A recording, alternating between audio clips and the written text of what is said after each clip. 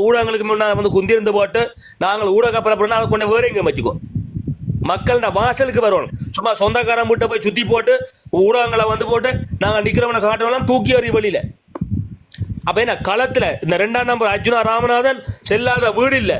எங்கே போனாலும் அதில் காய்ச்சி காய்ச்சி போனவர் அப்போ ரெண்டாம் நம்பர். மறக்கக்கூடாது. அப்போ அஞ்சாம் நம்பர் லோஜியக்கா ஒரு பேராசிரியர். சொந்த காசில் இன்றைக்கு இந்த சங்கிலி அடைய வச்சு தேர்தல் நிற்கிறார் இது வரைக்கும் மொத்த காசு ஒரு தரம் கொடுக்கவும் இல்லை. ஒரு தடவை வாங்கவும் இல்லை. இந்த கிரீன்லாண்ட் ஐயா மட்டும் இதை செஞ்சிருக்கிற. ரெண்டாவது ஒரு அண்ணா கேட்டிருந்தவர். காசு இதெல்லாம் வந்துட்டு. அக்கா அக்கௌண்ட் நம்பர் கொடுக்கல சரிதானே?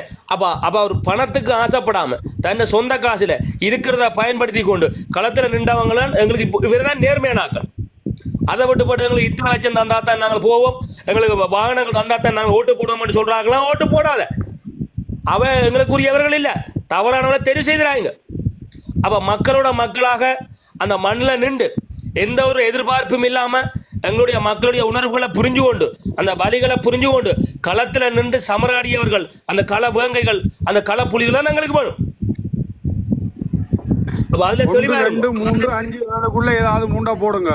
எங்கண்ட விருப்பம் ரெண்டு அஞ்சு ஏழு? ஓ ரெண்டு அஞ்சு ஏழு. நாங்க நாளை நாலு விருப்பம்? ஒன்று ரெண்டு ஓ சரி. ரெண்டு ரெண்டு மூன்று அஞ்சு ஏழு நாலு இலக்கத்தை காட்டுறோம்.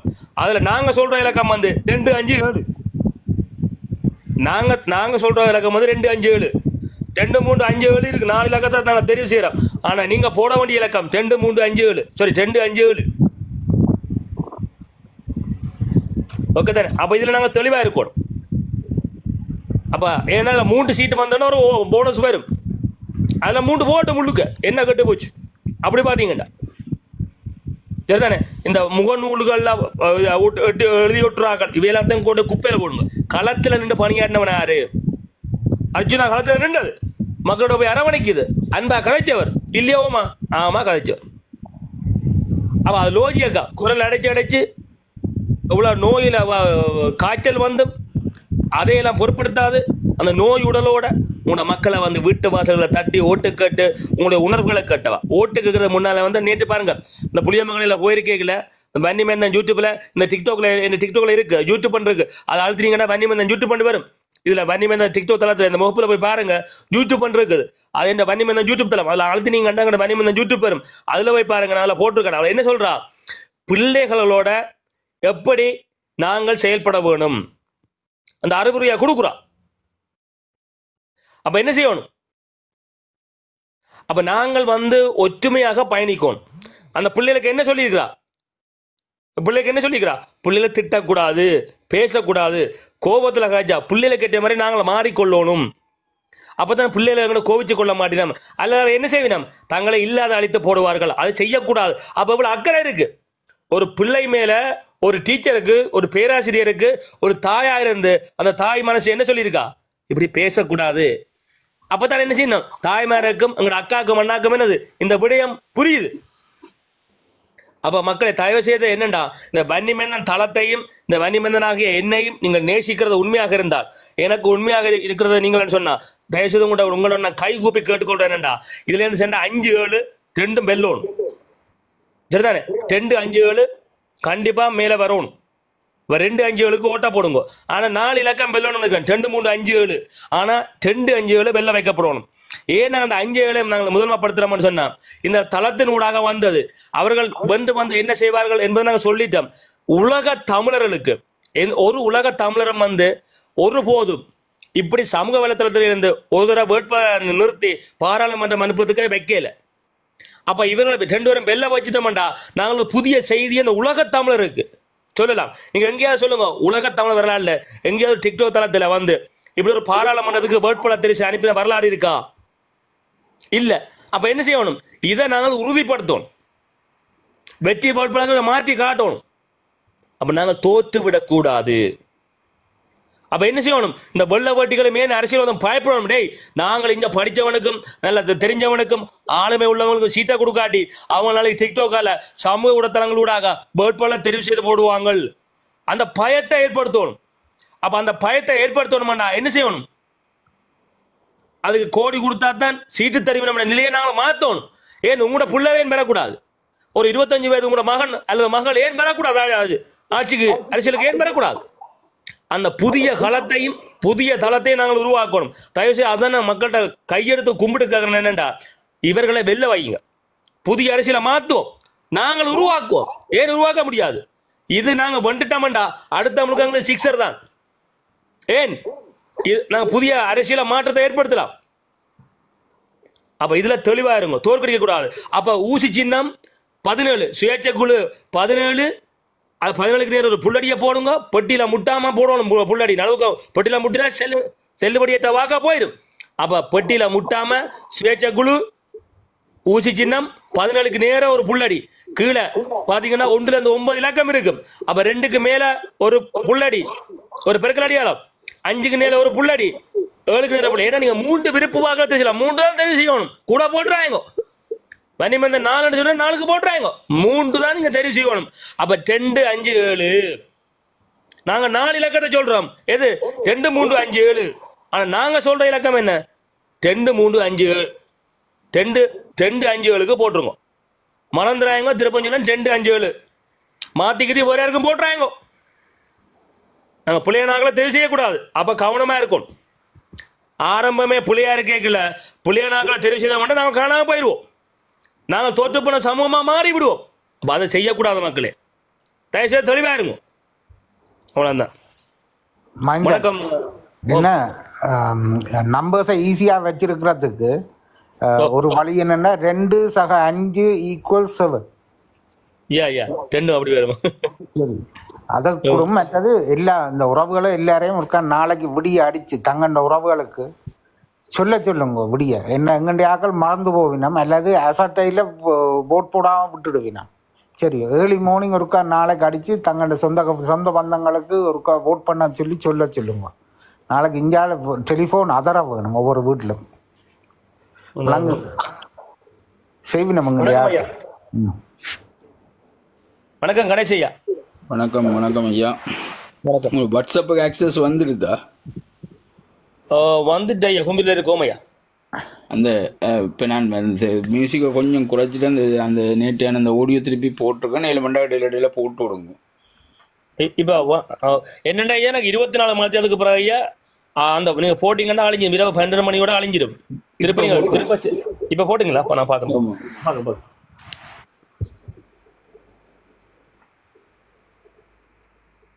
வணக்கம் ஐயா வணக்கம். வணக்கம் எஸ்பி வணக்கம் கிரீன்லேண்ட் அண்ணா வணக்கம் வணக்கம் ரவி. வணக்கம். வணக்கம் ரோபி வணக்கம் மனுஷா வணக்கம் கலா வணக்கம் ரூபி. தளத்தில் இருக்கிற கிட்டத்தட்ட நானூறு உறவுகளுக்கும் வணக்கம். அமைதியாக இருப்போம் மைந்தன் இந்த ஆடியோ எடுக்கட்டும் பார்ப்போம்.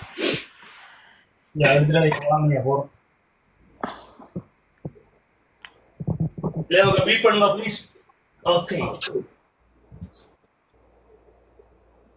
What's up, Ready? Wait.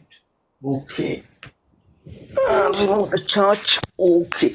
Put it here. Yes. Volume five. Okay. Done. Every number, உங்களை இந்த குரல் பதிவினூடாக சந்திப்பதில் மற்றற்ற மகிழ்ச்சி. இன்று நாம் ஒரு முக்கியமான விஷயம் தொடர்பாக கலந்துரையாட இருக்கிறோம். இந்த பதிவானது எந்த ஒரு அரசியல் கட்சிக்கும் சார்பானது. இந்த பதிவின் மூலம் தமிழர்களுடைய வாக்குரிமையின் பலத்தையும் நாம் வாக்களிக்க வேண்டியதன் கட்டாயத்தையும் உங்களுடன் பகிர்ந்து கொள்ளலாம் என்று நினைக்கிறேன்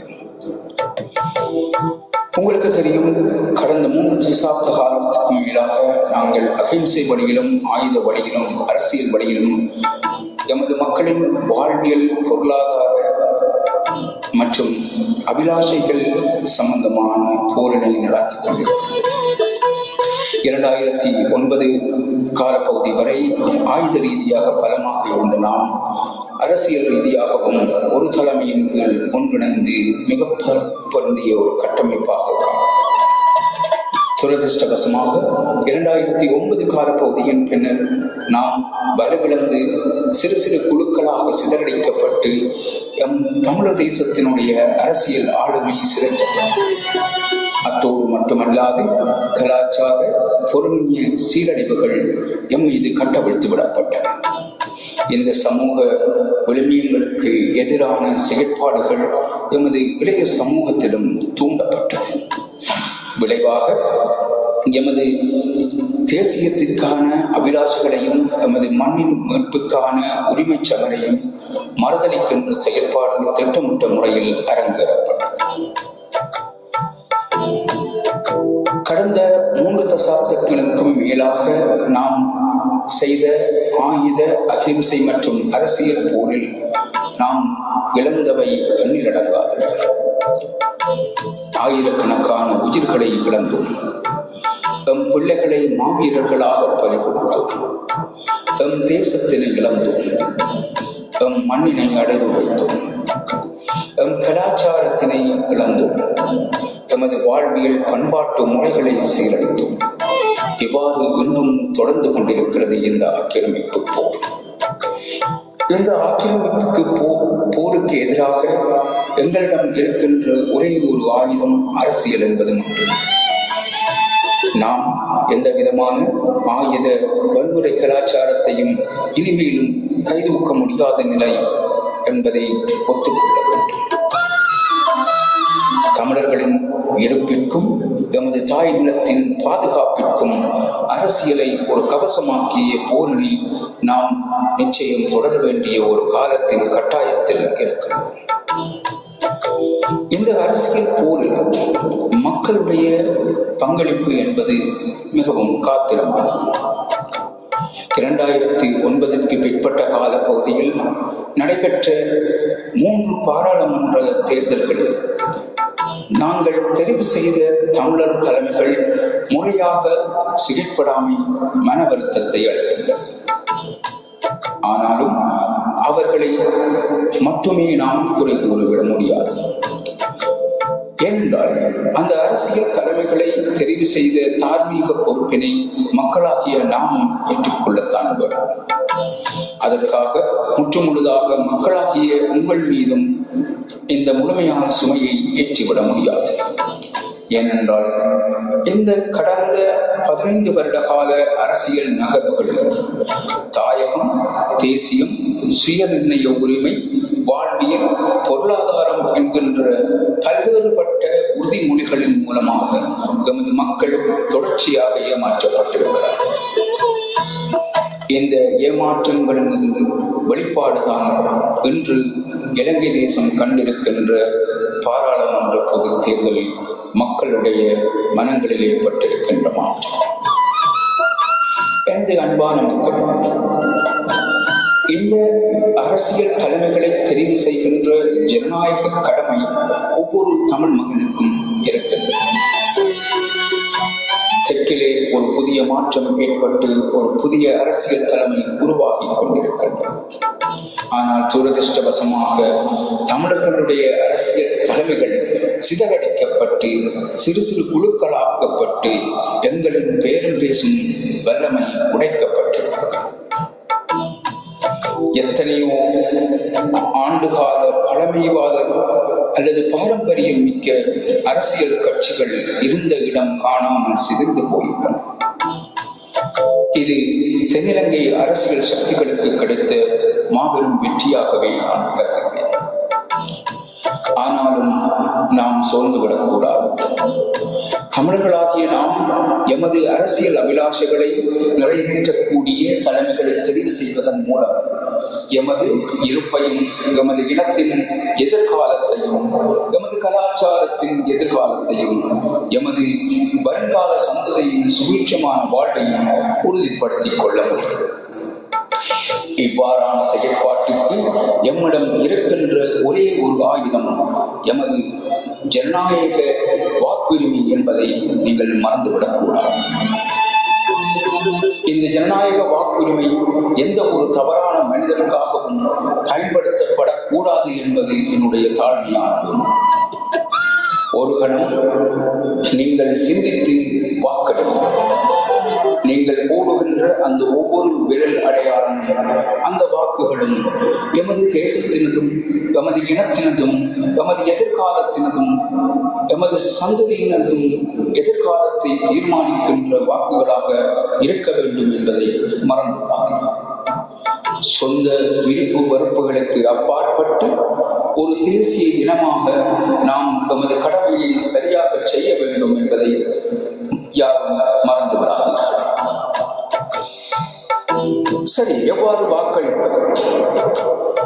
உங்களுக்கு பல்வேறுபட்ட அரசியல் தலைமைகளினாலும் அரசியல் கட்சிகளினாலும் சுயேட்சை குழுக்களினாலும் எவ்வாறு வாக்களிப்பது என்கின்ற முறைமை தெளிவுபடுத்தப்பட்டிருக்கும். நீங்கள் வாக்களிக்கும் நிலையங்களுக்கு செல்லும் போது அங்கு உங்களுக்கு வாக்காளர் சீட்டு ஒன்று தரப்படும்.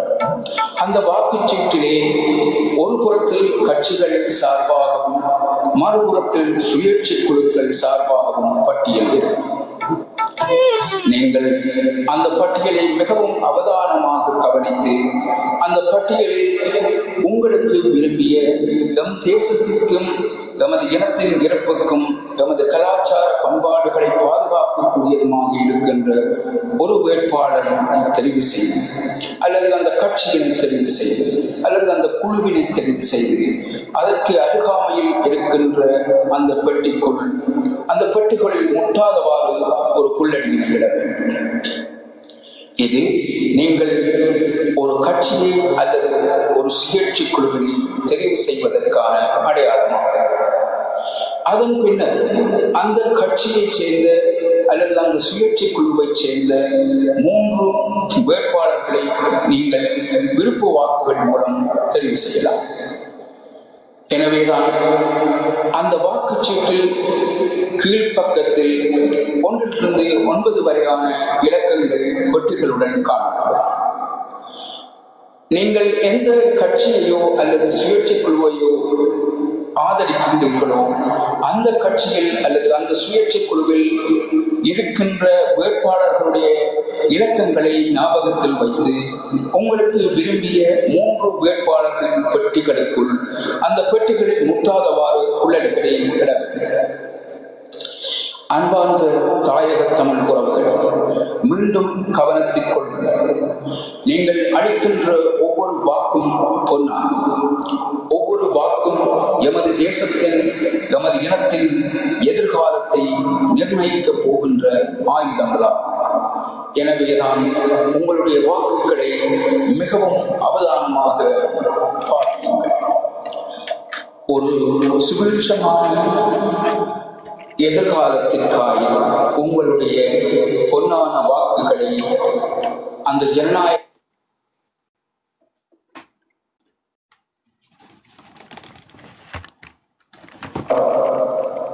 நன்றி வணக்கம்.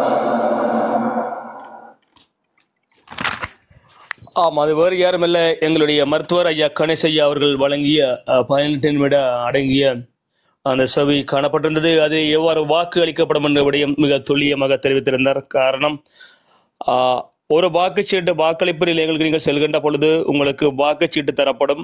அதிலே ஒரு பக்கத்தில் கட்சிகளுடைய விவரங்களும் மறுபக்கத்திலே சுயேட்சை குழுவுடைய விவரங்களும் இருக்கப்படும் என்கின்ற விடயம் தெரிவிக்கப்பட்டுள்ளது. அதிலே சுயேட்சை குழுவில் இருக்கக்கூடிய ஊசி சின்னம் பதினேழு அந்த பாக்ஸுக்கு நேராக ஒரு ஓட்ட ஒரு புள்ளடியை போட்டுட்டு கீழே அந்த சீட்டுக்கு கீழே வந்து இந்த கீழ் பக்கத்தில் பார்த்தீங்கன்னா ஒன்று இந்த ஒன்பது இலக்கம் இருக்கு. அந்த இலக்கத்தில் இரண்டுக்கு மேலே ஒரு புள்ளடி ஐந்துக்கு மேலே ஒரு புள்ளடி ஏழுக்கு மேலே புள்ளடியை போடுங்க. இதுதான் இது.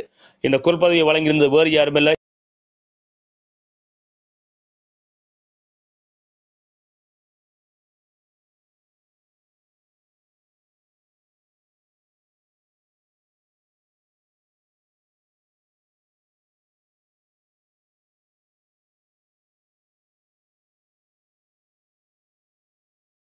அவன் தான் கொஞ்சம் கூட வந்து அது குறைக்கலாம் சரி எக்கோ பண்ணுது பேக்ரவுண்ட்ல வந்து நான் கொஞ்சம் குறைச்சா ஓகே இருக்கு. அது செய்யலாம்.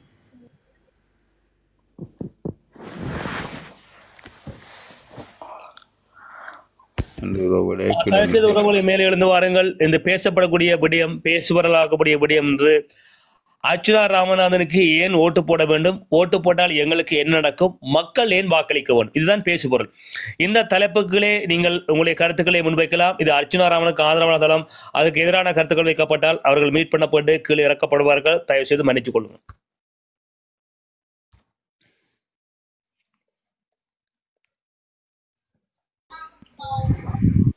வணக்கம். வணக்கம் நிசாந்தன் வணக்கம்.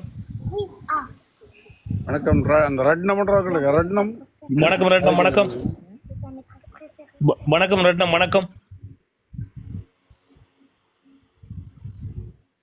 சரி ஓகே.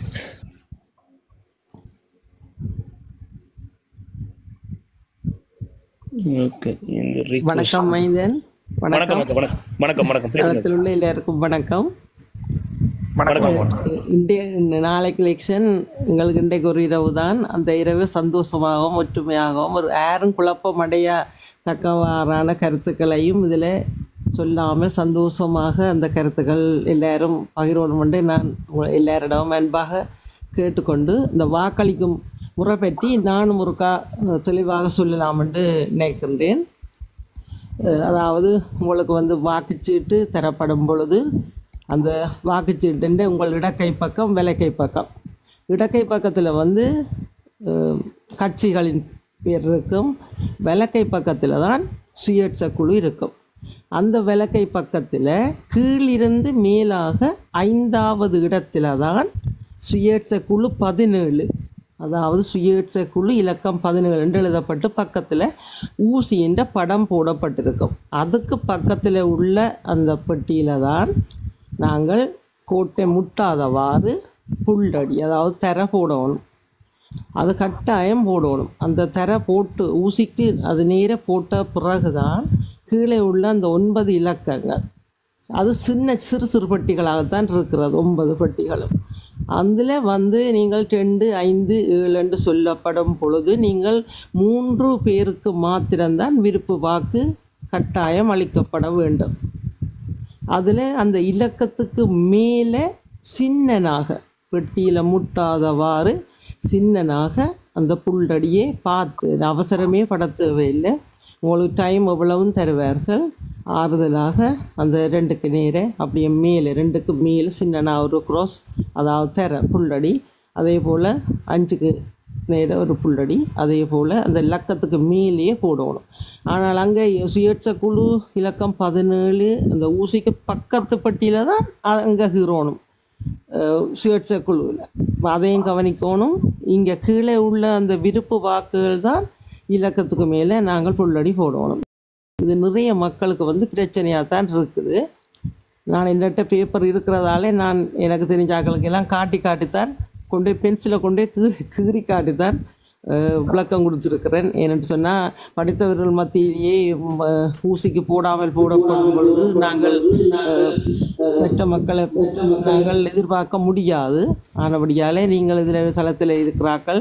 உங்களோட உங்களுக்கு தெரிந்தவர்களுக்கும் நாளை காலையில் எடுத்துருக்கா ஃபோன் பண்ணி இந்த விளக்கத்தை ஒருக்கா சரியான முறையில் ரெண்டு தடவை ஒரு தடவைக்கு இரு தடவை கூட்டினால் கூறினால் அவர்களுக்கு கொஞ்சம் ச- விளங்கக்கூடியதாக இருக்கும் என்று நான் நினைக்கிறேன்.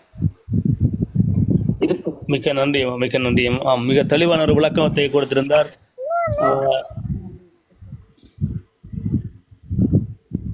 மிக்க நன்றி மிக்க நன்றி. ஆம் தேச உறவுகளை நாளைக்கு வாக்குச்சாவடிக்கு செல்கின்ற பொழுது அங்கே உங்களுக்கு வாக்கு படிவம் ஒன்று தரப்படும். அதிலே இடப்பக்கத்திலே ஒரு நிகழ்ச்சிகள் இருக்கும் வலப்பக்கத்தில் சோ அதாவது சோறு சோத்த சோறு சாப்பிட்றதுல வலக்கை பக்கத்திலே சுயேட்சை குழு ஒன்று இருக்குது இடப்பக்கத்திலே கட்சிகளுடைய விவரம் இருக்கும் வலப்பக்கத்திலே சுயேட்சை குழுவில் இருக்கும் கீழிருந்து மேல் நோக்கி பார்க்கல ஐந்தாம் இடத்துல அர்ச்சனா சுயேட்சை குழு பதினேழு என்றிருக்கும் பதினேழுக்கு நேராக ஒரு புள்ளடியை போடுங்க. கீழே பார்த்தீங்கன்னா ஒன்றுலேருந்து ஒன்பது மட்டும் இலக்கம் இருக்கும். அதில் இரண்டுக்கு மேலே ஒரு புள்ளடி அல்லது பெருக்கல் அடையாளம் அதே மாதிரி அஞ்சுக்கு நேராக ஒரு புள்ளடி அல்லது பெருக்கல் அடையாளம் ஏழுக்கு நேராக ஒரு புள்ளடி இல்லை பெருக்கல் அடையாளம் போட்டுருங்க. மறந்துடாதீங்க போட்டுருங்க. அப்போ அந்த ஐந்து ரெண்டு ஐந்து ஏழு வெல்ல வைக்கப்பட வேண்டிய இலக்கங்கள். அப்போ இதில் நீங்கள் கவனமாக இருக்கும் அப்போ நாங்கள் நாலு இலக்கத்தை தெரிவு செய்கிறோம் ரெண்டு மூணு அஞ்சு ஏழு. ஆனால் ரெண்டு ஐந்து ஏழு வெல்ல வைக்கப்பட வேண்டிய இலக்கம். இந்த மூன்று இலக்கம் மட்டும்தான் ஒரு போனஸ் ஆசனம் பெறும். அதில் அடுத்தால் போகலாம் அவை ரெண்டு ஐந்து ஏழு வெல்ல வைக்கப்பட வேண்டிய இலக்கம். இதில் தெளிவாக இருக்கு. இப்போ இதில் கவனமாக இருங்க. நீங்கள் விரும்பி நடக்கிறதுக்கு நாலு இலக்கத்துக்கு நீங்கள் விரும்பி நடக்கிறதுக்கு போகலாம். ஆனால் நாங்கள் சொல்கிறது இரண்டு ஐந்து ஏழு வெல்ல வைக்கப்பட வேண்டிய இலக்கம். அப்போ ஐந்து ஏழுக்கு நாங்கள் ஏன் திரும்ப திரும்ப ஓட்டு போடுங்க அப்படின்னு சொல்கிறோம் என்றால் இந்த அதாவது சமூக வலைத்தளத்து ஊடாக வருகை தந்த அவர்கள் பாராளுமன்றத்துக்கு அனுப்பி வைக்கிறதன் ஊடாக புதிய புரட்சியை நாங்கள் செய்யலாம். நாளை யாருமே அரசியல் களத்துக்கு வரக்கூடிய வாய்ப்பினை நாங்கள் ஏற்படுத்தி கொடுக்கலாம். ஒரு கட்சியிட்ட போய் வாய்ப்பு கேட்டு நின்று பெட்டியில் இத்தனை கோடி தந்தா தான் உங்களுக்கு வாய்ப்பு தருவேன் என்கிற நிலையை நாங்கள் ஒழிச்சு யாரும் ஒரு கூலித் தொழிலாளியும் ஒரு ஏழை எளியனுடைய மகனும் நாளை அரசியலுக்கு பயணிக்கலாம் என்கின்ற நிலையையும் நிலவரத்தை நாங்கள் உருவாக்க வேண்டுமாக இருந்தால் இந்த காலப்பகுதியில் நாங்கள் செய்ய வேண்டிய ஒரே ஒரு விடயம் என்னவென்றால் இதிலிருந்து சென்றவர்களை நாங்கள் வெல்ல வைக்க வேண்டும். இதனூடாக அரசியல் கட்சிகளுக்கும் தலைமைகளுக்கும் எவ்வாறான ஒரு விடயத்தை கையாள்கள் என்பதை நாங்கள் பார்க்கவும். அவ இதன் ஊடாக அடுத்த கட்ட நடவடிக்கை நோக்கி பாய்ச்சலை ஏற்படுத்தலாம். அவ வெள்ளவட்டிகளுடைய சிந்தனை போக்கு அல்லது அரசியல்வாதிகளுடைய சிந்தனை போக்கு எப்படி இருக்கிறது? இந்த கட்சியினுடைய நிலவரம் எப்படி இருக்கிறது? இதனூடாக நாங்கள் பார்த்து தெரிஞ்சு கொள்ளலாம். ஆகவே இதில் நாங்கள் தோற்று விடக்கூடாது. இப்போ எடுத்துக்கொண்ட பயணத்தில் வெற்றி உறுதியாக இருக்கும். எங்களுக்கு வெற்றி உறுதி. ஆனால் தளராமல் சோறாமல் எந்த விதமான இன்னலுக்கும் இடையூறுகளுக்கும் நாங்கள் முகத்தை கொடுக்காமல் காதுகளை கொடுக்காமல். தெளிவாக கண்களை சிவிட்டி பார்த்து வாக்குச்சாவடியில் வரப்படுகிற வாக்குச்சீட்டில் பல பக்கத்தில் சுயேட்சை குழு ஒன்று வந்த அந்த வாக்கு பல பக்கத்தில் சோத்தாங்கை பக்கத்தில் அதில் என்ன இருக்கும்? சுயேட்சை குழு ஒன்று இருக்கும். கீழே இருந்து மேல் நோக்கி பார்க்கல சுயேட்சை குழு அர்ஜுனா சுயேட்சை குழு பதினேழு என்று இருக்கும். பதினேழுக்கு நேர இந்த பெட்டிக்குள்ள ஒரு புள்ளடி போடணும் இந்த புள்ளடி போட்டு வாக்கு செல்லுபடி ஏற்றதாக வந்துடும் ஊசி அதுல ஊசி படம் இருக்கும். ஊசி அதுக்கு நேரா போடுங்க. ஊசி நேரத்து நேரம் வந்து ஒரு புள்ளடியை போட்டுட்டு அதே மாதிரி கீழே ஒன்று வந்து ஒன்பது இலக்கம் இரண்டுக்கு நேரம் ஒரு புள்ளடி அஞ்சுக்கு நேரம் ஒரு குரோஸ் அல்லது புள்ளடி ஏழுக்கு நேரம் ஏழு இலக்கத்துக்கு நேரம் போடுங்க. அந்த பேப்பர்ல பாத்தீங்கன்னா இலக்கம் மட்டும் இருக்கு. அதுக்கு நேரா இப்ப தலைக்கு மேல போடுற மாதிரி உதாரணத்துக்கு தலையன்னா தலைக்கு மேல தலை வந்து ஒண்டண்டா தலைக்கு நேரா போடுங்க. அந்த இலக்கத்தை பாத்தீங்கன்னா உங்களுக்கு தெரியும். பயப்படாங்க இதுதான் தெளிவு. அதை போட்டு விட்டீங்கன்னா சரி. அல்ல அந்த அந்த- வாக்கு பதிவிலேயே எப்படி வாக்கு போடணுமென்ற சில விதிமுறையும் அந்த அந்த அந்த பொக்ஸுக்கு அதில் இருக்கும். அதில் நீங்கள் அதை நீங்கள் பார்த்து தெரிஞ்சு கொள்ளலாம். ஆகவே இதை மறந்துடாமல் செஞ்சிருங்க. தோற்கடிக்க கூடாது தோற்று போய்விட்டால் நாங்கள் நிற்கதியான சமூகமாக மாற்றம் பெற்று விடுவோம்.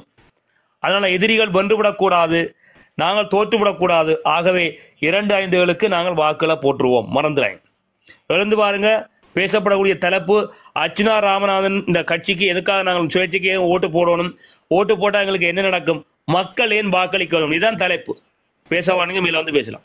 சேசுங்கம்மா மைந்தன் எனக்கு ஒருக்கா அந்த ஐயா அந்த வீடியோவே இருக்கா? எனக்கு அனுப்பி விடுறீங்களா ப்ளீஸ் டாக்டர் இதுல போட்டு விடுங்க நான் அதை எடிட் பண்ணி பார்ப்போம். சவுண்ட் வந்து இருக்கா? நாங்கள் யூடியூப்ல போட்டு விடலாம் இல்லை. யூடியூப்ல சவுண்டோட போட்டீங்கன்னா போடல போட்டா பேன் பண்ணுவாங்க.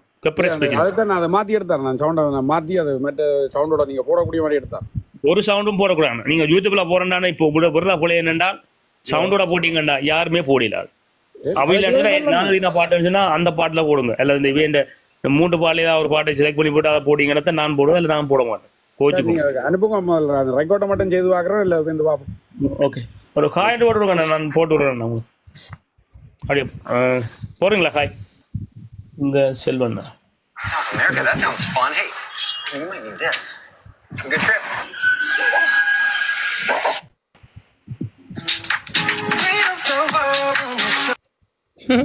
அம்மாக்கு சிக்கா கொண்டானோம் ஓகே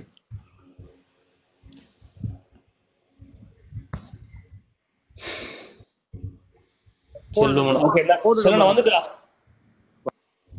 போட்டேன்.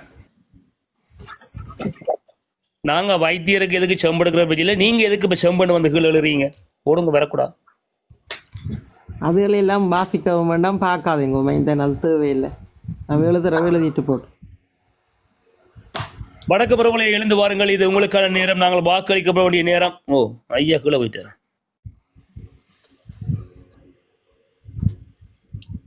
நான் நினைக்கிறேன் நீங்க மாறிக்கு பிளாக் அடிக்கிறேன்னு என்ன அடிச்சு விட்டீங்களோ இல்லையே உங்களை அடிக்கல.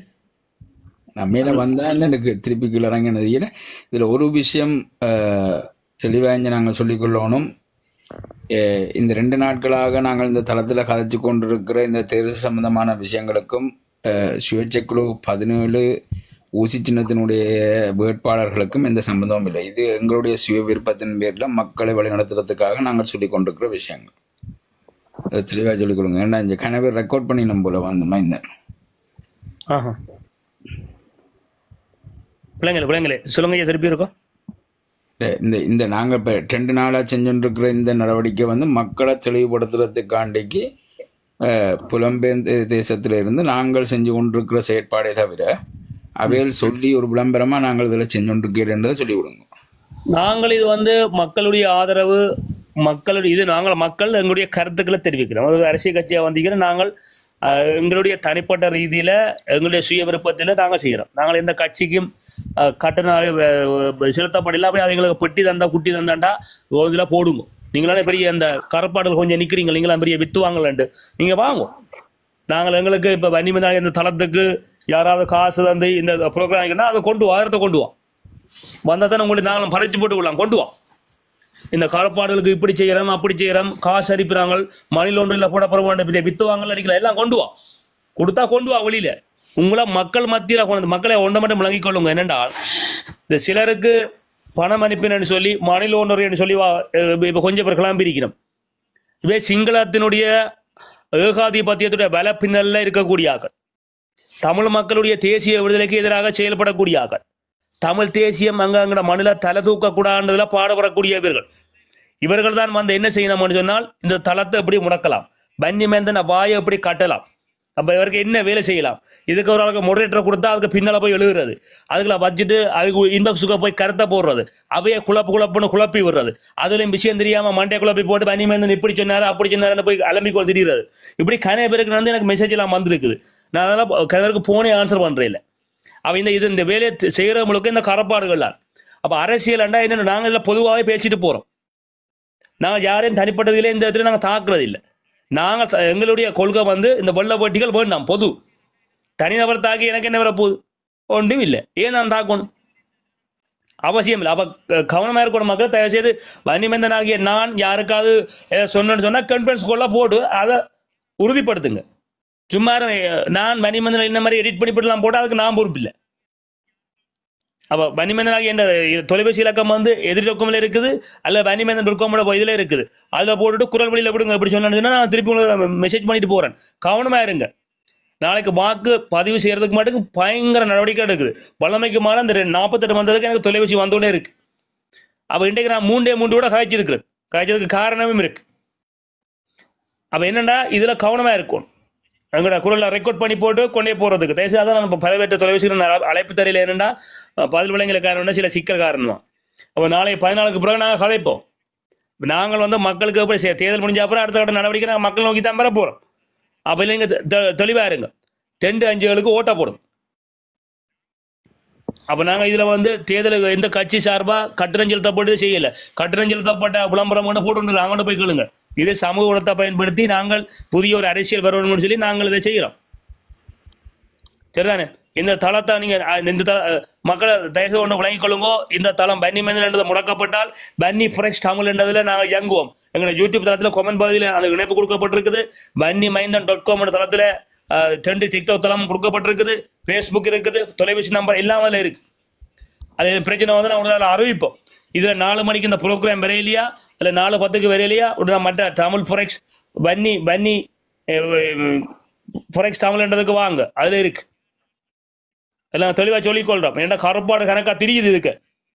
அப்போ உங்களுக்கு நேர்மை இருக்குமென்னு சொன்னால் உங்களுக்கு உள்ள தூய்மை இருக்குமென்னு சொன்னால் நீங்கள் புதிய ஒரு அரசியலை வையுங்க மக்களுக்கு நேர்மையாக இருக்கப்படுங்க ஏன் நீங்கள் மக்களை ஏமாத்துறீங்க? மற்றவங்கள்ட்ட காசை ஓடி கொண்டு பொட்டி பொட்டியா பின்பக்கத்தில் காசை ஓடி போட்டு வந்து ஏன் இந்த குழு குழுவா அலையுறீங்க?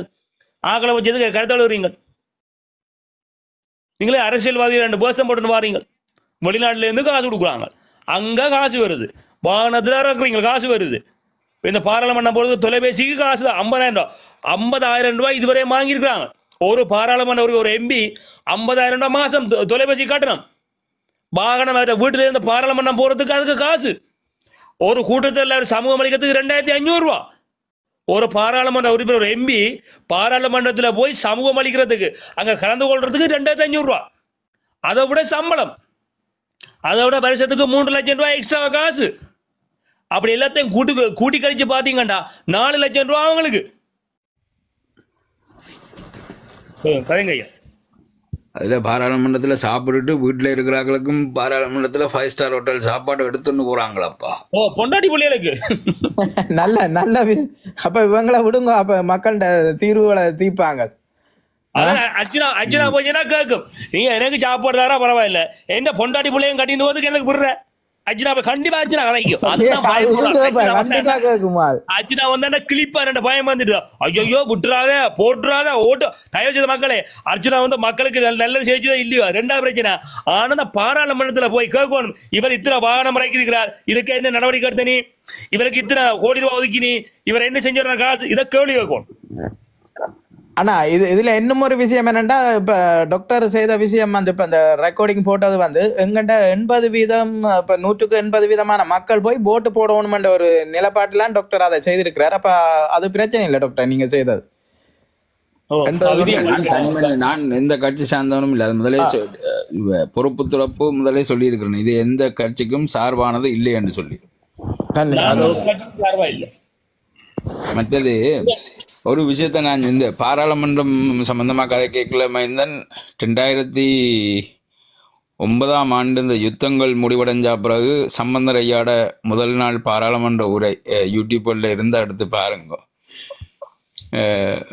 மிகவும் ஆக்ரோஷமாக சம்பந்தர் ஐயா பேசணுன்னு நான் உரிமை கேட்டுட்டு பேசணுன்னு நான் தமிழர்களை எப்படியும் இந்த போராட்டம் மௌனிக்கப்பட்டாலும் இந்த மனுஷன் தமிழர்களை வழிநடத்தி போப்பதுன்னு நினைச்சுட்டு வந்துட்டு உண்மையாக சந்தோஷப்பட்டுட்டு என் ஃப்ரெண்ட்ஸோடையும் காய்ச்சி கொண்டு வந்தேன். அடுத்த நாள் காலையில் திருப்பி ஒரு வீடியோ அனுப்பினாங்கள். அந்த உரை நடந்து பின்னேரம். பின்னேரம்னா க- பத்தரை பதினோரு மணி போல் அந்த பாராளுமன்ற உரை நடக்குது போல். ரெண்டு மணி போல் அதே பாராளுமன்றத்தின் உணவகத்தில் மஹிந்த ராஜபக்சே கட்டி பிடிச்சாலும் மூணு பேரும் ஒரே மேசையிலேருந்து சாப்பிட்றாங்களப்பா. அப்போ இந்த அஹ், அர்ஜுனா சொல் அந்த சிறுவிர மீட்டிங்கில் வச்சு வச்சு தானே நான் பொட்ட பொட்ட நான் அங்கால இஞ்சால கதை பண்ணி அதை கணக்கில் வைக்கிறேன்னு சொல்லி போட்டு தான் அவங்க செய்கிறது இந்த வேலையெல்லாம். அது- அது அந்த மக்களுக்கு அவர்கள் உண்மையாக அந்த மனுஷனை நான் மதிக்கிறேன் ஒரு இறந்த ஆத்மா பற்றி நாங்கள் கதைக்கக்கூடாது. ஆனால் அந்த அந்த எங்களுடைய அந்த மக்களுக்கு அவையில் செஞ்ச அந்த பணியை சரிவர செய்யாமைன்றதை அவருடைய இறுதி சடங்குகள காலகட்டத்தில் மக்களால் காட்டப்பட்டது இல்லையா எஸ்பி? கண்டிப்பா. உண்மையா பெரிய ஒரு அரசியல் கட்சி தலைவர் தலைவருக்கு இந்த நிலைமையண்டா யோசிச்சு பாருங்க நீங்க செய்த துரோகம் தான் அதுக்கு காரணம். உங்களுக்கு பின்னால வந்தது உங்களுக்கு பின்னால வந்தது அந்த துரோகம் தான் உங்களை உங்களுக்கு பின்னால வந்தது. நீங்க நல்லது மக்களுக்கான ஒரு அரசியலை செய்திருந்தால் எத்தனையாயிரம் கோடி எத்தனையாயிரம் மக்கள் உங்களை அந்த கடைசி டைம்ல வந்து ஆதரவு தெரிஞ்சிரு தெரிவிச்சிருப்பினோம். ஆ? அது கூட உங்களுக்கு தெரிவிக்கலையேண்டா காரணம் நீங்க செய்த குற்றங்கள். அதுவும் அஹ், இன்னைக்கு சமூக வலைத்தளங்களில் ஒரு வீடியோ போய் கொண்டு வந்தது. உண்மையாக பார்த்து எனக்கு சிரிப்படக்க முடியல. ஒரு ஒரு இறப்பு வீட்டு நிகழ்ச்சின்ற ஒரு வீடியோ ஒன்று பா போய் கொண்டு வந்தது. பார்த்தீங்களா யாரும்? இல்லை ஐயா நாங்க பார்க்கல. சொல்லுங்க. அந்த இறந்தவருக்கு பதிலாக அங்கே தமிழ் தேசியம் வைக்கப்பட்டு அந்த அந்த இறப்பு த- தமிழ் தேசியம் இல்லை தமிழ் தேசிய கூட்டமைப்பு சாரி மன்னிக்கணும். தமிழ் தேசிய கூட்டமைப்பின் வீட்டு சின்னம் அங்கே வைக்கப்பட்டு அங்கே அந்த சடங்கை நடத்தினர்கள் ரெண்டு பேர் முன்னுக்கு ரெண்டு நடத்தினார்கள் ரெண்டு ரெண்டு பேர் படங்கள் போடப்பட்டிருந்தது. உண்மை அதுதான். நான் நினைக்கிறேன் திரு சம்பந்தன் ஐயா அவர்கள் அந்த த தன்னுடைய அந்த கொள்கையில் பயணிச்சிருந்தா கூட இவ்வளவு இழுக்க சந்திச்சிருக்க மாட்டார் கடைசி நேரங்களில். அவர் இந்த பக்கத்தில் ரெண்டு பேரை சேர்த்து கொண்டார். அந்த ரெண்டு பேரும் இன்னும் அவங்கள் என்ன நம்பிக்கையில் இந்த மக்கள்கிட்ட வந்தவர்கள் வாக்கு கேட்கிறார்கள்ன்றது எனக்கு விளங்கல எந்த ஒரு இப்போ ஒரு ஒரு உதாரணத்துக்கு அப்ப நான் இன்றைக்கு மைந்தனை நான் ஏதாவது செஞ்சுட்டேன் மைந்தனுக்கு எதிராக ஏதாவது வேலை செஞ்சுட்டேன்னா நாளைக்கு இந்த தளத்தில் வர்றதுக்கு நான் யோசிக்கணும். அப்போ அதே மாதிரி இந்த மக்களுக்கு புலத்தையும் செஞ்சு போட்டு எந்த யோசனையும் இல்லாமல் ஒரு கூச்சம் இல்லாமல் அதே மக்கள்கிட்ட திருப்பி வந்து வாக்கு கேட்குற அளவில் இவர்கள் நிற்கணும்னு சொல்லி சொன்னால் அது என்னென்னு சொல்கிறேன்னு விளங்கல உண்டு இவர்கள் மட் மக்களை முட்டாளர் நினைக்கணும் இல்லாட்டிக்கு இவர்கள் முட்டாள்களாக இருக்கணும் ரெண்டத்தான் உண்டு அங்கே இருக்குது. ஆனால் இவர்கள் முட்டாள்களாண்டா நான் இல்லைன்னு சொல்லுவேன். என்னென்னு சொல்லி சொன்னால் எல்லா இடத்துலையும் தமிழ் தேசியம் அதாவது வடக்கு கிழக்கை பிரிக்கிறதுல இருந்து அந்த தமிழர்களுடைய தேசிய அபிலாஷைகளை நீத்து போக செய்கிற செயற்பாடுகளில் இருந்து எல்லாத்துலேயும் வேண்ட பங்களிப்பு இருக்குது நீண்ட காலங்களுக்கு பிறகு பொங்கு தமிழ் மாதிரி ஒரு பேரெழுச்சியை நாங்கள் இந்த பொத்துவில் தொடக்கம் புலிகண்டி வரையில் மக்கள் பெருமளவில் ஒரு எழுச்சி கொண்டதை நாங்கள் கண்டோம். அந்த எழுச்சியையும் இவர்கள் ரெண்டு பேரும் வந்து கருப்பு துணியை கட்டிக்கொண்டு எல்லாத்தையும் கலைச்சி விட்டுட்டு போயிட்டான் அதுக்கு பிறகு எங்கெங்க தமிழர்களுடைய ஆளுமை சரியாக இருக்கிறோ அந்தந்த இடங்கள் எல்லாத்தையும் பார்த்து அதில் எல்லாம் சிதறச்சு விட்டுச்சினோம். இப்போ இந்த பாராளுமன்ற தேர்தலில் ஒன்று இவர்கள் எதிர்பார்த்திருக்க மாட்டோம். முடியும் தேர்தல் அவசர அவசரமாக நடக்குமெண்டு இல்லாட்டிக்கு இவர்களுக்கு வந்து இந்த இந்த ஒரு பாட்டு ஒன்று இருக்குல்ல சூடு சுரணை கொஞ்சமும் இல்லையண்டு இவர்களுக்கு அந்த சூடு சுரணைன்றது இல்லாத ஆக்களாக இருக்கணும் பேர் உண்மையாக சூடு சுரணை இருக்கிற ஆக்கள் என்றால் கௌரவமாக இதுலேருந்து பின்வாங்கி போயிடுவோம். அடே மக்கள் என்ன ஏற்றுக்கொள்ளையில் இவ்வளவு எதிர்ப்புகள் இருக்குது. நாங்கள் போ கதைக்க போனாலே எழும்பி நின்று கேள்வி கேட்குறாங்க இதுக்கு பிறகு நாங்கள் இதுக்குள்ள வாக்கு கேட்டு நின்று பிரயோசனம் இல்லைன்னு கௌரவமாக விலகி போயிடுவோம் இதால் உங்களுக்கு வரப்போகிறது என்னென்னு சொல்லி சொன்னால் இந்த ரெண்டு பேர் இந்த இந்த குறிப்பிட்ட சிறப்புகளுக்கு நீங்கள் தமிழர்களுடைய அரசியல் வரலாற்றில் ஒரு புதிய ஒரு சகாப்தத்தை எழுதி போட்டு போக போகிறீங்க ஆக குறைந்த வாக்குகளோடு மக்களால் ஏகோபித்த விதத்தில் தோற்கடிக்கப்பட்டார்கள். மக்கள் வெறுத்து ஒதுக்கினார்கள். இலங்கையினுடைய இலங்கை தமிழர்களுடைய ஒரு பாரம்பரிய மிக பழமை வாய்ந்த அரசியல் கட்சி முகவரி தெரியாமல் ஆக்கப்பட்டிருக்கிறது என்கின்ற நிலையை நீங்கள் உருவாக்க போறீர்கள். உண்மையா இல்லையா? கண்டிப்பா. கண்டிப்பா. உண்மையா டாக்டர்? என்ன ஒரு கேலி சித்திரம் ஒன்று மைந்தன் பார்த்தேன். என்ன? ஜிஎம்ஓஏ ஜிஎம்ஓஏ நினைக்கிறேன். அது என்ன? Government medical officers association officers association அவைய பார்த்து இத என்ன வீட்டு கட்சி கேட்குது நீங்கள் உங்களோட வீட்டுக்குள்ள இருந்த ஓனான குணந்து இப்போ பார்லிமெண்ட்டுக்குள்ள விட்டுட்டீங்கன்னு பார்லிமெண்ட்டுக்கு முன்னால முட்டாக்கு போட்டு கொண்டிருக்கிறேன். விளங்குது அர்த்தம் விளங்குது. ஆ? விளங்கினது ஆமா மாடிகள் பிடிச்சு விட்டாச்சு ஆ, அந்த அந்த அவைன்ற பிரச்சனையே அதுக்குள்ள தீர்த்திருந்தா இப்ப பார்லிமெண்ட் மட்டும் இந்த ஆள் வந்திருக்காது சரிதான் இனி பார்லிமெண்ட்ல வச்சு இவக்கி குளிக்க போறான் பாவி அதுதான் பிரச்சனை வந்தான் தெரியுமே அது மக்களுக்கு செய்தார இல்ல ரெண்டாவது பிரச்சனை வந்தான் பச்சைப்படிய முள்ளு முள்ளு விஷயத்தையும் பயம் இல்லாம துணிஞ்சு கேட்க மாட்டதான் பிரச்சனை இல்ல எல்லாத்தையும் கிண்ட போறான் அடிச்சது இல்லாம இப்ப வெளியில வர போகுது மக்கள் இப்ப வெளியில ஐயா இன்னொரு? மத்தியானம் என்ன இலங்கையில இப்படி ஒண்ணு நடந்து இப்ப நான் இந்த பேர்களை சொல்லி கதைக்க விரும்பல ஏன்னா இது தேர்தல் சட்ட விதிமுறைகளுக்கு இது எதிராக வந்தேன் இப்படி ஒண்ணு நடந்த அந்த குறிப்பிட்ட நபர் உள்ளுக்குள்ள போ- போய் நாங்கள் கொண்டு போய் ஏத்திட்டோமோ இலங்கையின் அரசியல்ல இன்னொரு புது சட்டம் கொண்டு வரும். பாராளுமன்றத்துக்குள்ள தொலைபேசிகள் அனுமதி இல்லை. லைவ் போட இராது. இல்ல இப்ப மைந்தன் நீங்கள் வீட்டை கொண்டு போற கதை கதைக்கிறீங்க நாக்கி மாமல்ல கொண்டு போயினேன் சாப்பாடு. அச்சா. பாடுறா. டொகி பேக் சொல்றோம் அத எது? டொகி பேக் ஆ. டாக்டர் எக்ஸ்பிளைன் பண்ணுங்க அந்த டொகி பேக் மீனிங் இந்த சாப்பிட்டுட்டு மிச்சத்தை நாக்கி கொண்டு போறதா? டொகி அந்த அந்த பாராளுமன்றத்தில் இருக்கிற அந்த அந்த பரிமாறுறவங்கலேருந்து சமைக்கிறவங்கலேருந்து அந்த சாப்பாடெல்லாம் கொண்டு வரவங்க எல்லாம் பாவங்களப்பா. அவங்க அந்த அதில் செஞ்சு போட்டு கடைசி நேரம் மட்டும் பார்த்துட்டு இருப்பாங்க. உண்மை நான் அதை ஒரு தரக்குறைவாக சொல்லல உண்மையாக பாவங்க அங்கே இருக்கிறவங்க அந்த அதில் வேலை செய்கிறவர்களும் அடிப்படையான ஒரு சம்பளங்களில் வேலை செய்கிற ஆக்கள்லாம் நீங்கள் நெச்சா போல் பாராளுமன்றத்தில் செஃப்பாக இருக்கிறதோ இல்லாட்டிக்கு வெயிட்டராக இருக்கிறதோ பெரிய காசு இல்லை. அவர்களுக்கு கூட அங்கே இந்த உணவகங்கள் மிச்சம் விடுறாங்களான்றது கேள்விக்குறி. நான் ரெண்டு தடவை இலங்கையினுடைய பாராளுமன்றத்துக்கு போயிருக்கிறேன். ரெண்டு தடவையும் வந்து உள்ளுக்குள்ளே சாப்பிட கூட்டிட்டு போய்க்கல நான் போய் பார்த்துட்டு வேணான்னு சொல்லி போட்டு விளக்கிட்டு வந்தேன் நான். ஏனென்றால் அங்கே இவியல் நடந்து கொள்கிற விதங்கள் இதில் பார்க்கல. எனக்கு அருவருப்பாக இருந்தது. க்யூவில் நிற்கிறது க்யூவில் ஜம்ப் பண்ணி பாய்கிறது ஒருத்தருக்கு ஒருத்தர் சண்டை பிடிக்கிறது சாப்பாட்டு நேரங்களில். ஆ. எம்பி மாதிரி ஐயா எம்பி மாதிரிலாம் அதுக்குள்ள சண்டை. சாப்பாட்டுக்கு சண்டையோ இல்லாட்டி வேற என்ன சண்டையோ டாக்டர் சண்டையை கொண்டு வந்து சாப்பிட்ற நேரத்தில் சண்டை இருந்து. அப்படியே நாங்க கோயில்ல நாங்க கோயில்ல அடிபடுற மாதிரி நாங்க அடிபடுறோம் ஆகணும் இல்ல ஒரே இது என்ன ஒரே ஒரு வழி சொல்லும் பார்ப்போம் அனுராக் அடிச்சு சொல்லணும் என்னன்னு சொன்னா இனி களி கொடுங்கோப்பா அங்க.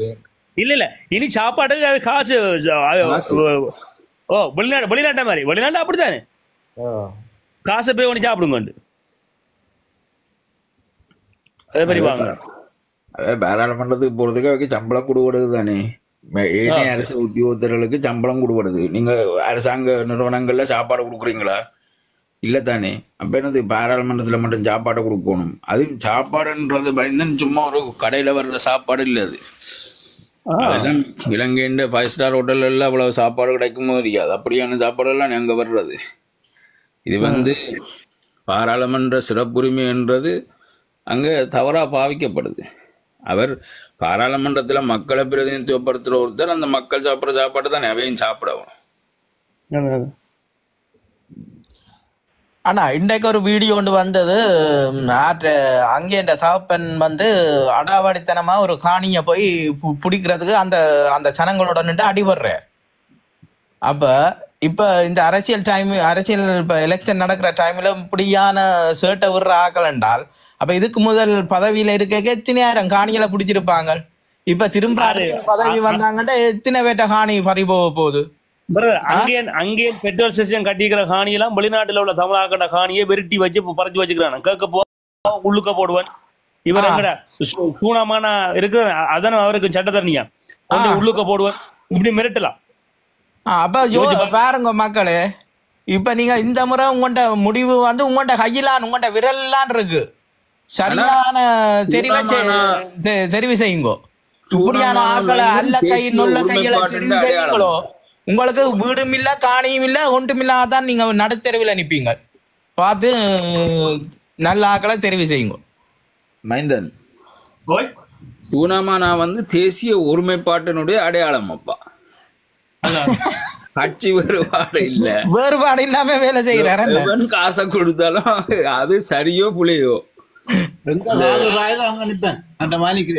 கட்டாயம் மக்களை பற்றின கவலை எங்களுக்கு இல்லை. நீங்க பொட்டியை காட்டிட்டீங்கன்னா நாங்கள் கட்டிதானி வந்துடுவோம்ன்ற மாதிரி தான் இல்ல டாக்டர் நாங்கள் உண்மையா ஜனத்தை வரவேற்கணும். அவற்ற அவற்ற கடைசி மீட்டிங்ல நல்ல மரியாதையோட சனம் அனுப்பி இருக்குது என்ன? சரியான பட்டம் ஒன்று கொடுத்துருக்கு அவருக்கு. மிஸ்டர் அது கிரவுண்ட்ல நடந்தது. அதே கிரவுண்ட்ல அடுத்த நாள். ம், ம். டோட்டல் ஃபெயிலியர் என்ன? இல்ல அதுல இப்ப நான் இந்த பெருமை காண்டிக்கு சொல்ல இல்ல அது நான் என்னுடைய மண்ணும் இல்லை. ஆனா அந்த மண்ணில் எனக்கு நல்ல ஒரு அபிப்பிராயமும் பற்றும் இருக்குது.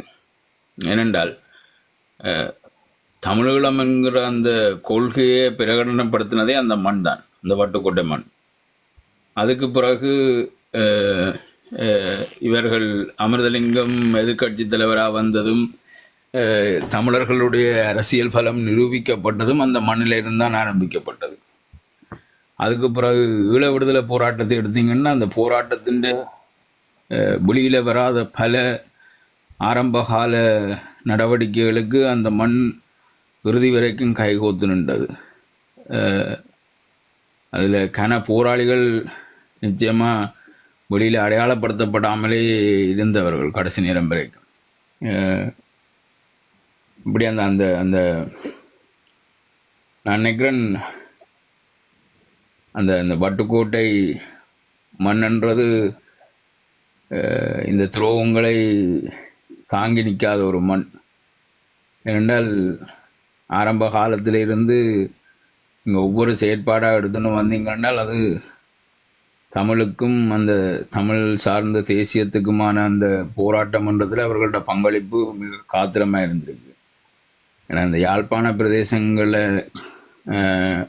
எடுத்து பார்க்கல நான் எனக்கு பழக்கமான இடங்கள்னால் இந்த வ- இந்த இந்த உங்களுடைய அந்த அந்த அர்ஜுனாவோட அந்த கூட்டங்கள் நடந்த இடங்கள் நல்லூர் கோயிலை சுற்றி இருக்கிற இடங்கள் திருநெல்வேலி பல்கலைக்கழகங்களை சுற்றி இருக்கிற இடங்கள் இதில் தான் எனக்கு பரிச்சயமான இடங்கள் யாழ்ப்பாணத்தில். எனக்கு வேறு எங்கெல்லாம் கொண்டு விட்டீங்கன்னா எனக்கு என்ன இடம்னு தெரியாது. அதில் அந்த ஒரு கொஞ்ச காலம் அந்த தொண்டமனாறு அந்த செல்வச்சன்னதி அந்த அந்த கோயில் அந்த அதே அண்டிய பகுதிகளிலையும் கொஞ்ச காலம் இந்த என்ன இடம் அது? நீர் நீர்வேலி. நீர்வேலி இணைவில் இணுவில் இணுவில் ஒரு கொஞ்சம் காலம் இருந்தாங்க. நீர்வேலியில் கூடுதலான காலம் இருந்திருக்கிறோம். குறிப்பாக அந்த நீர்வேலியில் கந்தசுவாமி கோயில் அதில் அண்டிய பகுதிகள்.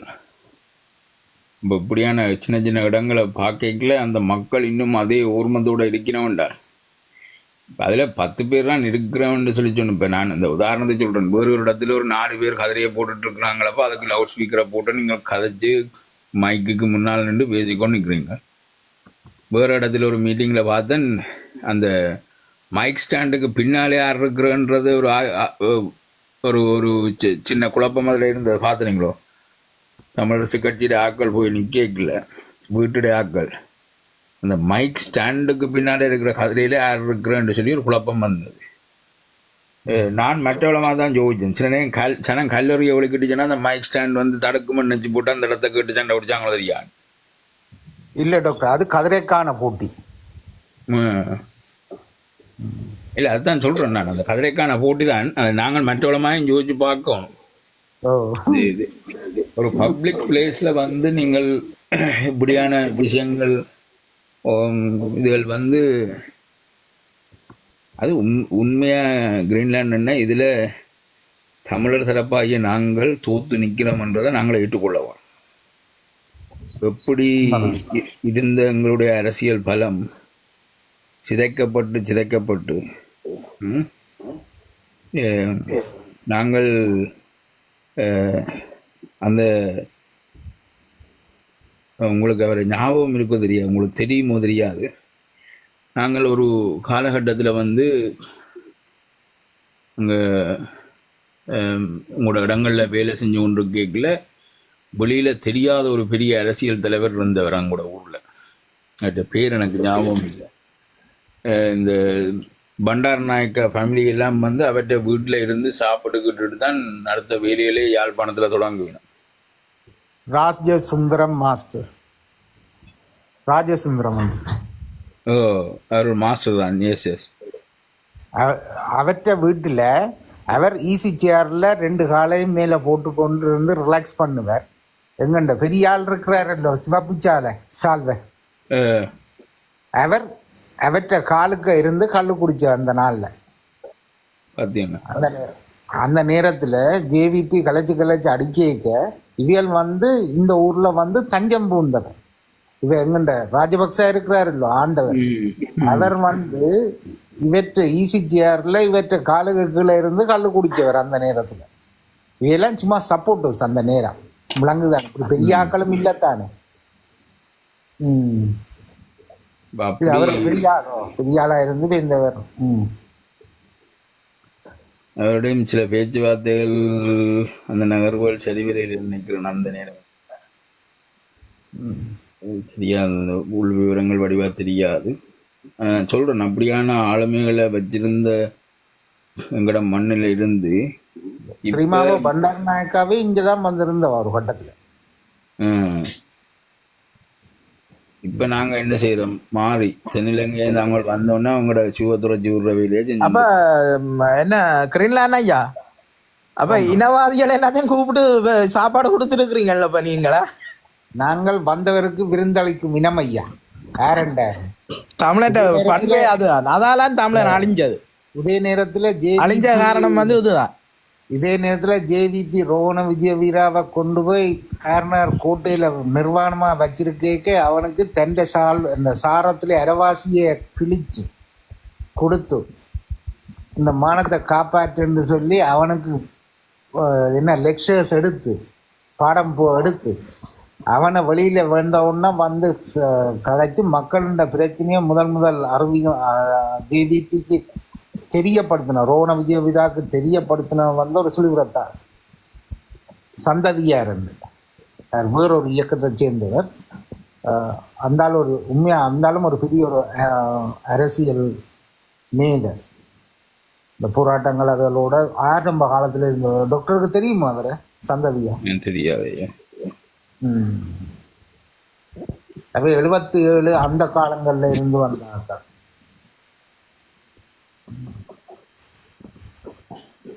இப்போ இப்போ அதான் நான் சொல்கிறேன் நாங்கள் அப்படி இருந்த எங்களுடைய இனம் வந்து இப்போ என்ன செய்கிறோம் தெற்கில இருந்து வாரவனுடைய ஷூவை துடைச்சி வைக்கிற வேலையை தான் நாங்கள் செஞ்சு கொண்டிருக்கிறோம் இல்லையா. அதுக்கே போட்டி. யார் துடைக்கிறது? நான் துடைக்கிறதா நீ துடைக்கிறதா? எங்களுடைய அந்த சுய கௌரவங்கள் சன்மானங்கள் எல்லாத்தையும் விட்டு கொடுத்துட்டு மக்களுடைய கருத்தையும் நான் ஏற்று அந்த சில விஷயங்கள் வந்து நாங்கள் என்னதான் அவர்களுக்கு எதிரான கோட்பாடுகள் இருந்தாலும் சில விஷயங்களை நாங்கள் ஏற்றுக்கொள்வோம். அனுரா வந்திருக்கிறார் நாட்டுக்கு நல்லா செய்வார் ஆமாம் செய்வார். ஆனால் அது அனுரவை நாங்கள் ஆதரிக்கவனும் ஓம் கட்டாயம் ஆதரிக்கவனும். ஆனால் அனுரன்ற கட்சியில் இருக்கிறாக்களை நாங்கள் பாராளுமன்றத்துக்கு அனுப்பணும்னா இல்லை. என்றால் இப்போ கிரீன்லாண்டுன்னா நீங்கள் நீங்கள் உங்களுடைய வேட்பாளரை நாங்கள் ரக்கின்னு கேட்கல. நீங்கள் ரக்கி வச்சிருக்கீங்கள நாங்கள் வாக்களிச்சா பிறகு. நாங்கள் சொல்கிறத உங்களோட வேட்பாளர் கேட்பினோமா? நாளைக்கு நீங்கள் சொல்கிறதை அவர்கள் செய்வினுமா? அப்போ அந்த பிரச்சனை தான் நாங்கள் இருக்குது. தெற்கில் இருந்து வர்றாக்கள் இப்போ எவனையும் எவனும் எங்களுக்கு உறவை கொண்டாடி கொண்டு வரலாம். சகோதரமாக வரலாம் நண்பனாக வரலாம். ஆனால் அப்பா அம்மா பிள்ளைகள் என்ற இடத்துல வந்து நாங்கள் இன்னொருவருக்கு இலகுவாக இடம் கொடுத்து விட முடியாது.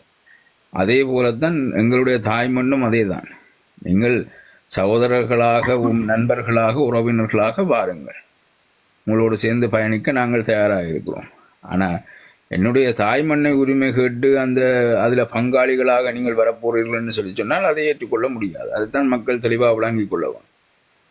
சீமானன்னு சொல்கிற மாதிரி நீங்கள் யாராவும் இருந்துட்டு போ ஆனால் எனக்கு அப்பனாவோ அஹ் அங்கால மற்றதை நான் சொல்ல விரும்பல அதை செய்கிறதுக்கு நாங்கள் அனுமதிக்க முடியாது. விளங்குதோ? அதே தான் அதே நிலைப்பாட்டில் தான் இந்த தேர்தலை நாங்கள் பார்க்குவோம். நிச்சயமாக மக்களால் தெரிவு செய்யப்படுற தலைமைகளை வந்து மக்கள் வந்து அழுத்தம் கொடுத்து அன்றோட சேர்ந்து இந்த புதிய ஒரு அரசியல் மாற்றத்தை இலங்கையில் கொண்டு வர்றதுக்கு முயற்சிக்கணுமே தவிர அனுரகுமார திசாநாயக்க அவர்களுடைய கட்டில இருக்கு. இப்போ இப்படித்தான் மைந்தனன் நம்ப- நானும் ஒரு மைந்தனம் ஒரே கொள்கை தான் கொண்டு வச்சுக்கோம்.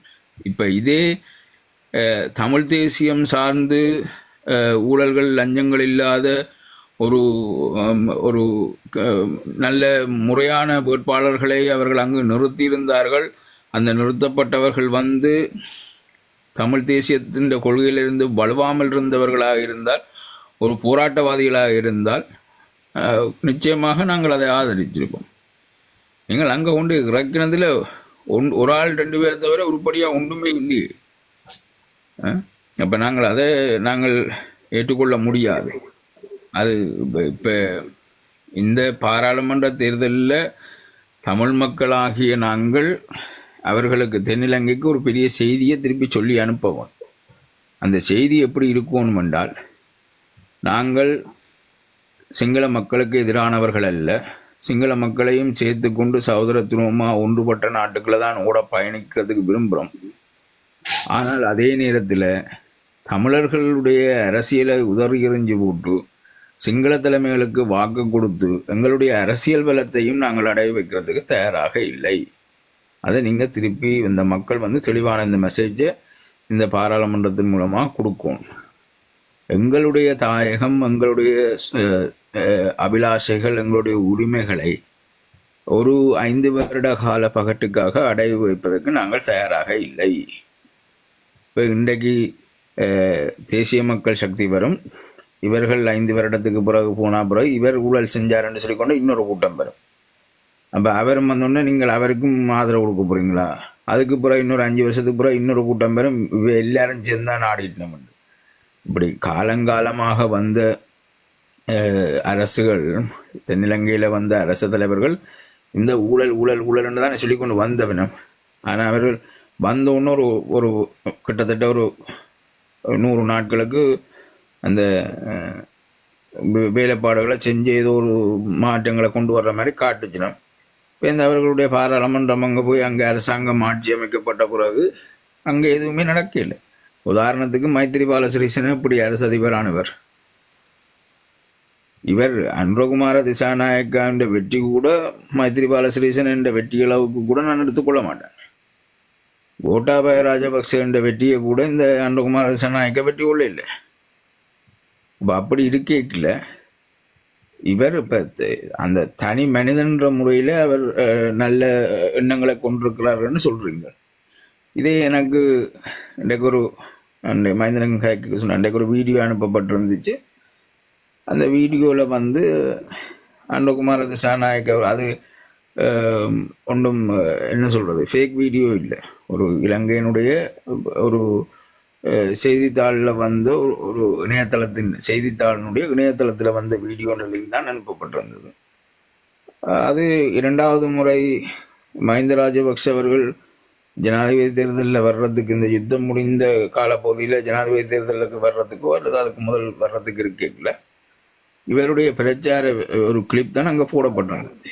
அதில் இதே அனுரகுமார திசாநாயக்க சிங்கள மக்களுக்கு சொல்கிறார் நாங்கள் கள்ள ஓட்டை போட்டுண்டாலும் ஜனாதிபதியாக மஹிந்த ராஜபக்ஷ அவர்களை கொண்டு வரணும் அப்போ இந்த பத்து வருஷங்களுக்கு முன்னர் கள்ள ஓட்டு போட்டண்டாலும் இன்னொருவரை ஜனாதிபதியாக்கணும்னு சொன்ன அதே நபர் தான் இன்றைக்கு ஜனாதிபதியாக இருக்கிறார்.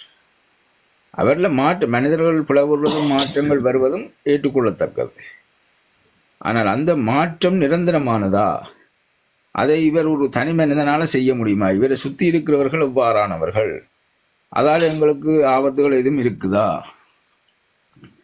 அப்போ அதுகளை தான் நாங்கள் பார்க்கணும் அப்போ அப்படி அந்த ஆபத்தை நாங்கள் பார்த்து கொண்டு நிற்கல நிச்சயமாக இந்த இந்த தனி சிங்கள கட்சிகளுக்குள்ள மாட்டுப்படாமல் நாங்கள் தமிழர்களுடைய அரசியல் கட்சிகளை தான் ஏதோ ஒரு விதத்தில் அதிலேயும் குறிப்பாக தேசிய நலன் சார்ந்து செயற்படுகின்ற ஒரு இளைஞர் கூட்டத்தை நாங்கள் அனுப்புவோம்.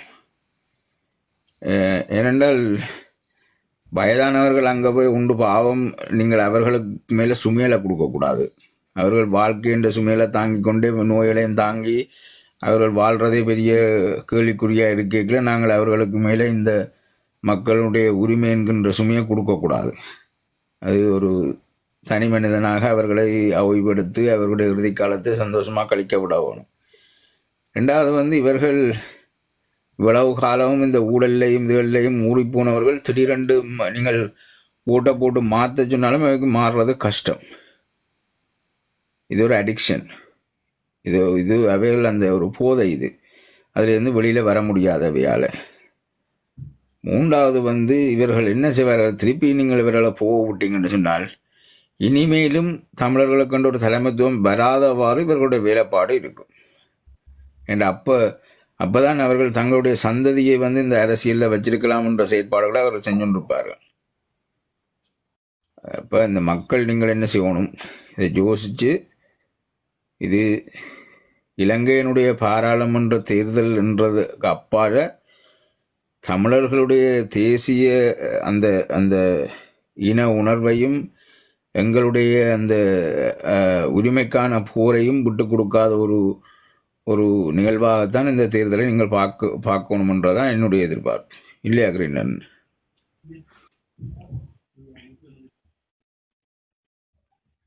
மீட் ஆயிட்டு சாரி மீட் ஆயிட்டு. உண்மை நீங்கள் சொல்கிற ஹண்ட்ரட் பர்சன்ட் உண்மை. அதோட ஐயா இந்த அரசியலுக்கு ஒரு ஸ்டாண்டர்டை உருவாக்கணும். இந்த முறை இந்த முறையில் அதுக்கு ஒரு அத்திவாரமாக இந்த தேர்தலில் நாங்கள் போட வேணும். அரசியல்னா சாக்கடை அரசியல் தான் இப்போ இந்தியாவை ஃபாலோ பண்ணி தான் இந்த நாடு போய்க்கொண்டிருக்குது. இப்போ யூரோப்பியன் கண்ட்ரீஸோ இல்லை கனடா கனடாவோ அமெரிக்காவோ அதை நாங்கள் ஃபாலோ பண்ணே இல்லை அரசியல் அதுக்கு ஒரு ஸ்டாண்டர்ட் இல்லை இந்த இந்த நாட்டில். ஒரு சின்னப்படியான ஒரு இதண்டு அவனுக்கு பொலிட்டிக்கல் சயின்ஸை படிப்பிச்சு நீ ஒரு அரசியல்வாதியாக வாண்டால் அந்த பெர்சன்டேஜ் வந்து ஸ்ரீலங்காவில் விலை விலை குறைவாக தான் இருக்குது. எல்லாரும் மேக்ஸ் செய்யணும் எல்லாரும் சயின்ஸ் செய்யணும் டாக்டர் இன்ஜினியர் ரெண்டு போகணும் அது அதைத்தான் பெற்றோரும் விரும்பினர் ஒரு தயாரிப்பன் ஒரு நல்ல அரசியல்வாதியாக வர வேணும் இந்த நாட்டுக்கு லீடராக இருக்க வேணும் இந்த மக்களை வழிகாட்ட வேணும்னு சொல்லி ஒரு பிள்ளைய வளர்க்குதா இல்லை என்னன்னு அதுக்கு காரணம் என்னன்னு சொன்னால் நம்மட அ- அரசியல் இங்கே இருக்கிற அரசியல் சாக்கடை அரசியல் அந்த சாக்கடை அரசியல்ன்றது மாறி ஒரு ஸ்டாண்டர்டான அரசியல் ஒரு- அரசியலுக்கு ஒரு ஸ்டாண்டர்ட் வருமா இருந்தால் இளம் சமுதாயம் முன்னுக்கு வந்து பதவிகளை எடுக்கும் எம்பி போஸ்ட் எடுக்கும் மக்களை வழிகாட்டும். அதுக்கு வயது கட்டுப்பாடு போடணும் பாராளுமன்றது வார அகலத்தின வயசுக்குள்ள அமையணும். அது அதுவும் உண்டு. மற்றது ஒரு ஒரு ஒரு ஆள் அஞ்சு வருஷம் பத்து வருஷம் இருந்துட்டாருன்னா மற்றவனுக்கு இடம் கொடுக்கணும். காலம் பூரா அதில் இருக்கப்படாது. இப்போ இது எல்லாத்தையும் இப்போ நடக்கிற அரசியல் இப்போ நாளைக்கு நடக்கிற தேர்தல் அதுக்கு ஒரு அடிக்கல்ல போடுமென்று தான் என்னுடைய எதிர்பார்ப்பு. என்னுடைய எதிர்பார்ப்பு. அரசியலுக்கு ஒரு கட்டாயம் ஒரு ஸ்டாண்டர்ட் பெற வேணும். சரிதான். அப்போ அரசியல் சரியாக இருந்தால் ரவுராமண்ண சொன்ன மாதிரி போலீஸ் டிபார்ட்மெண்ட் சரியாக இருந்தால் அரவாசி பிரச்சனை ஜாழ்ப்பாணத்தில் தீந்துடும் ஜாழ்ப்பாணம் மண்டேன்னு நான் சொல்லுவேன் வடக்கு கிழக்கோ இல்லை ஸ்ரீலங்காலேயோ தீந்துடும் அரசியல் டிபார்ட்மெண்ட் அதாவது political department and police department ரெண்டும் வந்து கரெக்டாக இருந்ததுண்டா. ஊழல்ன்றது இல்லாமல் போயிடும்.